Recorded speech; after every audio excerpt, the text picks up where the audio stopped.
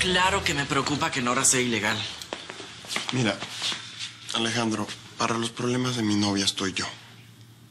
Ya ella tiene quien la proteja. Diego, ¿y quién te protege a ti? No sé de qué me estás hablando. De tus sentimientos, de tus angustias, de quien verdaderamente eres por dentro.